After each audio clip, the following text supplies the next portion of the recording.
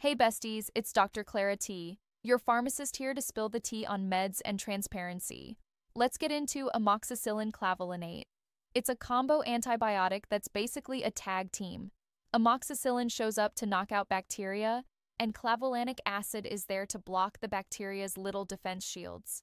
This one's prescribed for all kinds of infections sinus, ear, skin, lungs, UTIs, you name it. If your body's got beef with bacteria, this med's pulling up. Now, timing is everything. Depending on the version you're on, you're probably taking it every 8 or 12 hours, and it's super important to take it with food or milk. Trust me, your stomach will thank you.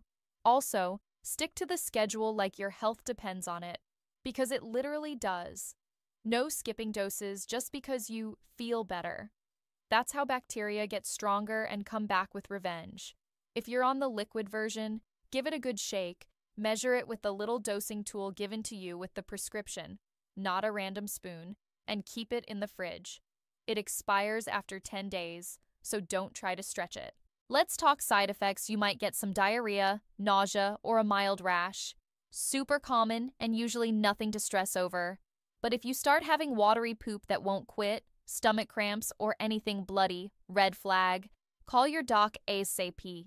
Also, if you've ever had a reaction to penicillin, this one might not be your friend. Always let your provider know about allergies, liver or kidney issues, or any other meds you're taking. Store the tablets at room temp, away from heat and humidity, not your car, not your bathroom.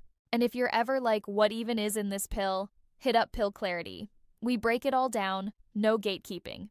I'm Dr. Clara Tee, helping you get the clarity you need in the meds you take.